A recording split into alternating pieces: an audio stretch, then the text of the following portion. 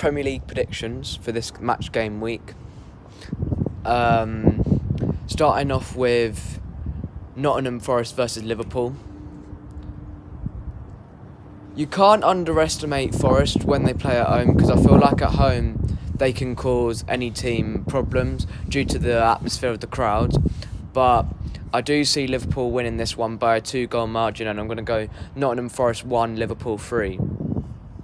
Next game is Everton versus Crystal Palace. The last time out these two teams met, it was a 3 2 win to Everton, and it managed to keep them stay up in the Premier League. And um, I think this will be a close game, but I feel like with the Goodison Park crowd behind Everton, I feel like they're going to win, and I'm going to go with Everton 2, Crystal Palace 1. Next game, Manchester City versus Brighton. I'm actually attending this game as a fan.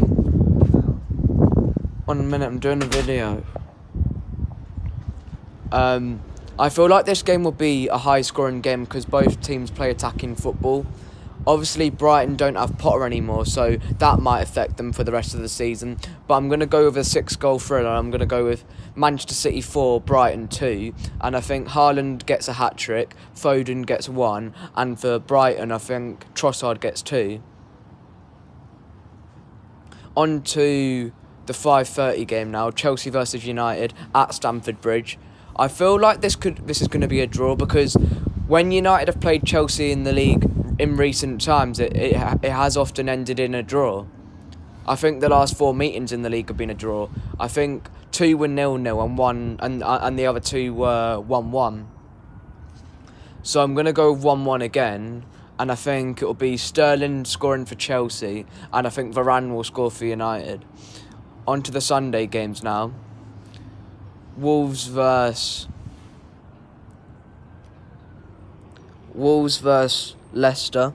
Leicester obviously coming off a 2 0 win against Leeds last night, so they're going to be trying to get six points out of the last two games, and I don't think they're going to do it this time around though. I feel like Wolves will just edge this one. I'm going to go with Wolves 1, Leicester nil, and I feel like Ruben Neves will score a goal from outside the box to win them the game.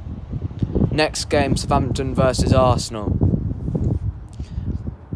I don't know why, but I can see Southampton maybe getting a draw in this game. I'm going to go with 1 1, and I think Ward Prowse will score for Southampton, and I feel like Jesus will score for Arsenal. Next game, Leeds versus Fulham.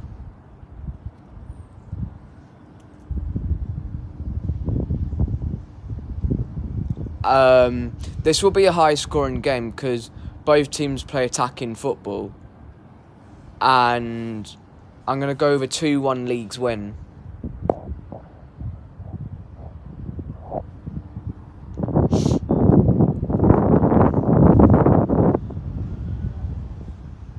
Um, um, what am I going to say now?